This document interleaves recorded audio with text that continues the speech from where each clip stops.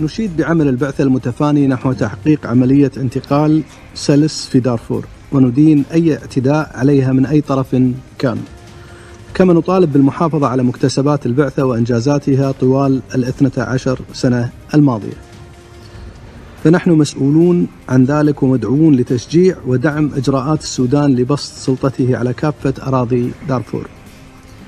كما نشدد على أهمية الاستمرار حتى نهاية الشهر القادم في الانسحاب التدريجي مثل ما تحدد ولاية البعثة. ونستذكر قرار مجلس السلم والأمن الأفريقي بتاريخ 14 يونيو 2019 وهو نظير مجلس الأمن وشريكه في يونمد حيث طلب من مجلسنا تمديد ولاية البعثة ل 12 شهرا.